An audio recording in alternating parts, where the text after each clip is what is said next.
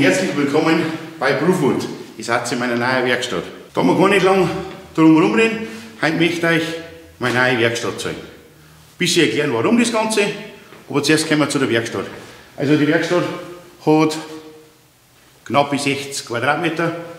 Da sieht man eine Drehmaffe, das heißt, oben ist noch ein Speicher, nicht stark ausgebaut, der ist in der Mitte kann ich stehen, ist er 2,5 Meter oder 2,10 Meter, ist in der Mitte hoch und zum Rand fällt er runter. Da oben könnte ich mit dem Materiallager ein bisschen sowas machen. Da war früher schon mal so eine kleine Schreinerei herin. Kurz bevor ich reingekommen bin, war so eine Schrauberwerkstatt herin. Ja, einfach, also eine alte Halle, Betonboden, relativ gerade, 3,50 Meter hoch, glaube ich. Ein großes groß Rolltor, ein isoliertes Rolltor. Das heißt, die besten Voraussetzungen. Ich habe einen eigenen Kraftstromanschluss. Wie man sieht, habe ich als allererstes einmal gleich meinen Unterverteiler montiert. Den Unterverteiler, den ich in diesem Video gebaut habe mit der integrierten Abschaltautomatik. Die ganze Halle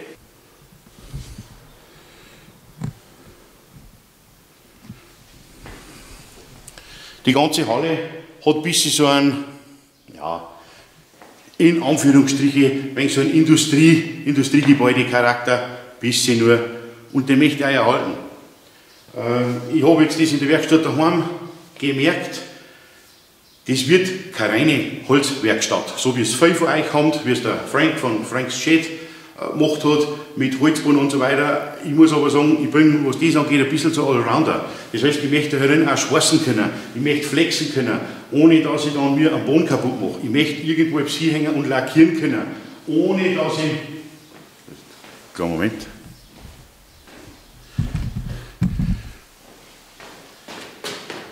Ohne dass ich dann Riesenprobleme kriege und, und, und irgendwas. Ich will das so erhalten.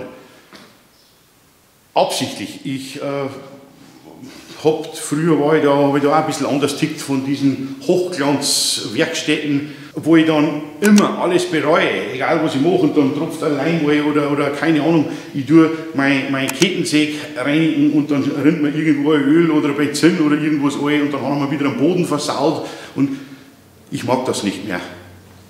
Bisschen, es geht, mir geht es ums Arbeiten, mir geht es ums Handwerken, wirklich um Sachen selber zu machen. Natürlich groß nur, dass man ein bisschen filmen kann, weil mir halt das einfach am Herzen liegt. Ich habe auf Instagram die letzten Tage immer schon wieder mal ein bisschen was gepostet und da habe ich unter anderem diese Sammelhalter gezeigt und vorgestellt. Ich habe die, zeige euch gleich, in der ganzen, in der ganzen Halle herin. Da hänge ich dann meine Kabel ein. Äh, ist sofort der Kommentar gekommen, es gingen auch Kabelkanäle und das würde besser ausschauen. Nein, das schaut in einer 50 Jahre alten Halle nicht besser aus, weil da alles schief und bugelt ist. Und wenn ich da einen Kabelkanal laufe mache, einen 100er, habe ich erstens wesentlich mehr Temperaturprobleme, wenn da ein Haufen Kabel drin hat. Und das schaut krumm und bugelt aus und passt zu dem Stil nicht dazu. Was gegangen war, waren noch Kabelrinnen, so Metallwannen, Kabelrinnen, aber das war, war, mir einfach, das war mir zu teuer. Dieser Aufwand war mir für da Rinn zu teuer. Muss, muss ich ganz ehrlich sagen, diese Schlaufen gäbe es auch in Metall, weil vielleicht noch ein bisschen die Optik drin, aber die habe ich zu Hause gehabt. Die gibt es auch so klein, dass man nur 4, 5 kW rein kann. Natürlich gibt es auch so groß, dass ich 20 kW reinbringe. Das Gute ist, ich kann das jederzeit, ich mache den, mach den Clips auf, ich mache den Clips auf, lege die Kabel da rein, mache den wieder zu kann es auch so durchzahlen. Äh, man kann die so an der Decke montieren, kann die so, man kann die an die Wand montieren. Das ist furchtbar einfach. Ich kann es jederzeit ein Kabel dazulegen. Bei mir ändert sich ja doch aber wieder was. Man kann es ohne Probleme ausziehen und die Decke da oben ist äh, äh, richtig, richtig dick einbredet und darunter dann irgendein, irgendein Schilfgewebe und so und verputzt. Das heißt, ich brauche da nicht irgendwie bohren, ich nehme da einfach nur lange Schrauben Bohrs Affe und fertig. Das heißt, auf eine Stunde haben wir die, die, die Halter in der, kompletten, in der kompletten Halle aufgehängt. Da hinten, sieht man das jetzt an? Ja, bis man es. Da hinten das Loch. Warum das da ist, weiß ich nicht. Das ist so eine Ausbuchtung. Das wird von außen weggerissen, zugemauert. Das wird von außen zugemauert. Das heißt, ich würde da hinten die Wand verkleiden, aber nur ein bisschen. Ich werde da nur das Loch zumachen, OSB, irgend sowas. Und der Rest können wir da so Ladungen hin, weil ich den Bereich da hinten möchte ich komplett, komplett French Glied machen, aber nicht äh, um in dem French Glied die ganzen Kleinteile und so weiter, 100 Millionen Halter zu machen, sondern um ihm Schränke, Bohrerschränke und so weiter befestigen zu können oder dann für bestimmte Chicks, die wo man dann aufhängen kann, dass die verrammt sind. Ich habe jetzt da nur Platz, warum nicht? Zur Elektroinstallation kann man natürlich, kommt natürlich ein Video, ob jetzt eins oder ob das in mehrere erwähnt wird. Äh, ich habe auch ein bisschen, bisschen Ausbesserungsarbeiten gemacht und habe schon ein bisschen, äh, bisschen malert, wo mich das stört, aber ich, wie gesagt, ich möchte da gar nicht so viel einhängen. Ich habe da mittlerweile ein wenig umgedacht. Wichtig ist mir, dass ich dann die Tätigkeit machen kann. Es geht nicht immer nur um das fertige Produkt, in meinen Augen, sondern es geht auch um das Arbeiten. Und wenn ich jetzt schon dran muss, wenn ich da vorne irgendwas abflex, dass ich dann hinterher irgendwas Optik, oder vorher was Optik, hinterher das wieder sofort weg tun muss, dass ja nicht irgendein Funkenflug in die Mauer hingeht, weil ich alles mit OSB verkleidet habe, dass ich da, nein, will ich nicht, will ich einfach nicht mehr. Da draußen ist ein Stellplatz vor, der, vor, der, vor dem Hallentor, da kann ich mein Auto hinstellen, ohne dass ich wegfahren muss. Zwischen meinem Wohnhaus und da, mein, haben zwischen 5 und 10 Minuten äh, Fahrzeit und bei dieser Fahrt komme ich an zwei Bäckereien vorbei. Frühstück ist gesichert. Ursprünglich habe ich überlegt, ob ich den Boden irgendwie Bodenfarbe drauf mache oder, oder Beschichtung oder irgendwas. Äh, das sind aber alles so Sachen. Ich bin ein Handwerker, ich bin Baustein gewohnt. Also ich habe nicht leicht das Problem, äh, dass ich vier Stunden an derselben Stelle stehe, stehe und dann hinterher sage, ah, da zückt es aber vom Beton kalt auf. Äh, sollte ich irgendwo, wo ich, wo ich mehr hin muss, dann lege ich mir so Gummimaten hin. Die gibt es ja in, industriell, die Gummigittermaten, wo ich irgendwo vor einer Stampfbohrmaschine oder vor einer, keine Ahnung, äh, Schleifstation, die da hinkommt, kann ich das immer noch machen. Grundsätzlich bin ich mit dem System top zufrieden. Dann habe ich, weil ich sehe ja da einen Haufen Dachladen umeinander liegen, habe ich das gestern auch auf Instagram kurz gezeigt, habe ich sofort eine Nachricht gekriegt, ja, wo hast du die Dachladen her? Der Baumarkt hat ja zu. So viel zum Thema Corona, da sind alle ein nervös. Erstens einmal bin ich Gewerbetreibender. Ich kaufe beim Baumarkt Holz sowieso nicht. Ich kaufe was beim Holzhandel in einem Sägewerk oder sonst irgendwas.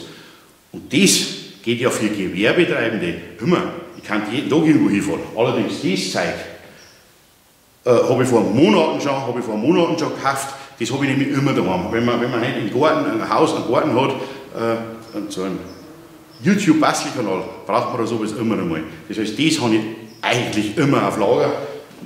Wir sechs in verschiedenen Längen, das haben wir auch im Sägewerk schon so schneiden lassen. Da unterdreht meiner, weil man es jetzt schon so schön sieht, da möchte ich Werkbänke neu bauen und da möchte ich meine Schleif, Schleifgeräte drauf tun. Da hier hinten, das wird ja zugemacht, da hier hinten möchte ich mein meine Küchenzeile, meine Küchenzeile hinmachen mit den Hängeschränke. Der Rest wird äh, French Cleat. Auf dieser Seite möchte ich meinen Kappsägestand hermachen. Da, wenn man reinkommt, da möchte ich mein Plattenlager und da oben drauf für, für die Dachladen das Langholz. Oben im Speicher stelle ich 2, 3, 4 bis 8 Regale auf. Da tue ich dann das ganze Kleinzeug auf, was ja jeder so viel hat. Auszüge, Rollen, 100.000 Sachen, die man nicht ständig braucht, kommt da oben auf. Ansonsten möchte ich, also da einen, ich habe ja eine Werkbank gebaut, äh, mit den, mit den Auszügen zum Platenschneiden. Das Video kann ich auch mal verlinken. Ich möchte da einer, eine neue Werkbank, wie ich es in meiner ganz frühen Werkstatt gehabt habe, 1,25 Meter auf 1,25 Meter, wieder aus Plattenmaterialien mit einer Arbeitsplatte um mit einem 19 oder 20 mm Lochung vielleicht sogar zwei.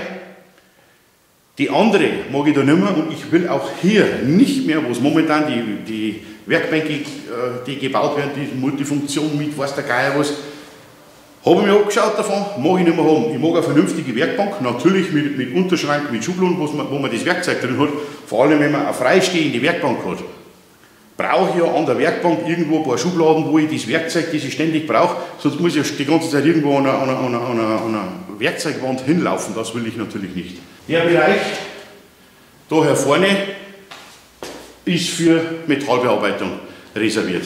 Da möchte man selber so einen Schweißtisch bauen. Nicht riesengroß, weil ich fange jetzt da nicht an, riesig zu machen, aber ich will das halt einfach machen.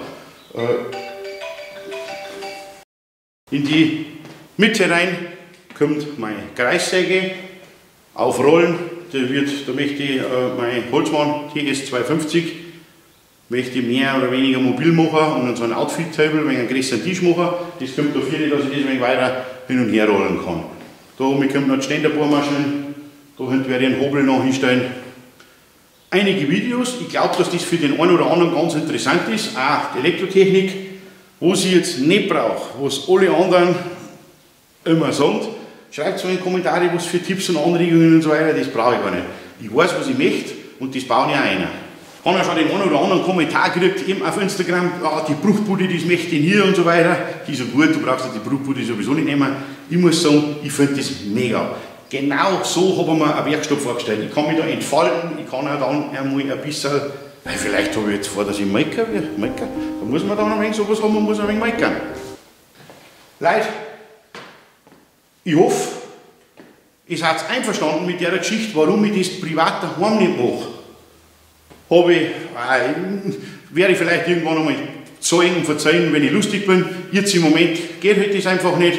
Ich mag mir auch da nicht irgendwie ans Bein, ans Bein pissen lassen, wenn ich da daheim irgendwas mache. Äh, ich mag nicht, dass irgendwelche Leute plötzlich bei mir daheim aufschlund, äh, meine Familie da irgendwie behelligend. Das muss nicht sein.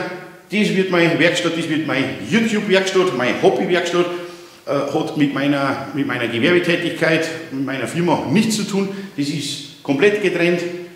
Da sieht einer vielleicht einmal ein Waschmaschinenzeug und einmal eine Waschmaschine riecht. Kann ja durchaus sein, hat aber mit meinem Gewerbe da nichts zu tun. Es ist noch viel Arbeit, es ist viel zu tun.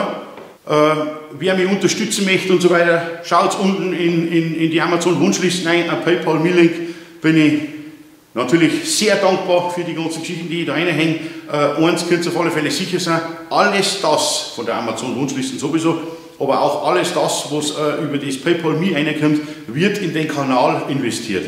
Sei es Kameratechnik oder, oder Material für zukünftige Projekte, für den Ausbau von dem Ding. Äh, es ist jetzt nicht so, dass ich meinen nächsten Urlaub mit dem PayPal Me-Link buche. Ich hoffe, es sind ein paar dabei, die sich mit mir gefreut, weil ich freue mich wirklich wahnsinnig wahnsinnig, wahnsinnig da herin zum Arbeiten, zum Handwerken, jetzt auf das Herrichten, dann den erst, das erste Mal dann einen, einen Rundgang machen, da herin sich wirklich entfalten. Äh, das ist einfach, wirklich, ich träume schon davon.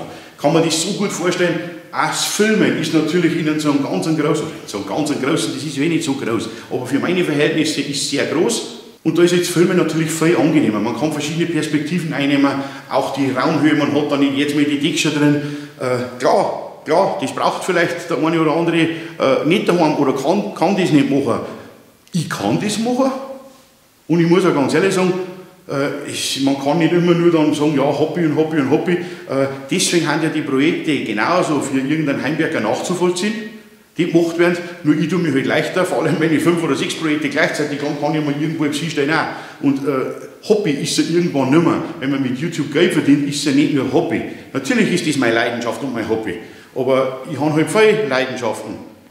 Wurscht, ob das Schwarztisch ist oder ob das irgendwie die Werkbank ist äh, oder sonstige irgendwie Projekte. Meine Frau wünscht sich eine Hollywood-Schaukel. Verzeiht mir das. Das ist nicht Schadenfreude oder, oder, oder, oder irgendetwas oder Besserwisserei. Ich freue mich einfach narrisch, dass das da geklappt hat. Und ich freue mich auf die komplette Arbeit darin, aufs Einrichten dann und dann aufs Filmen